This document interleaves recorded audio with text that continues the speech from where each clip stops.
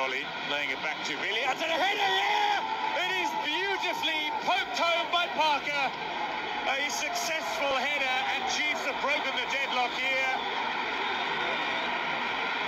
It is the variation of the set plays. We mentioned it before. A brilliant uh, short play corner there. A late run into the box. Brilliant delivery there. And it is uh, Bernard Parker on the end of it. That is satisfaction when you've worked on it at the training field and it comes to fruition on the field. Bernard Parker sets Kaizer Chiefs with the lead. So now Nyingane. 22 odd minutes to play. Is a through ball.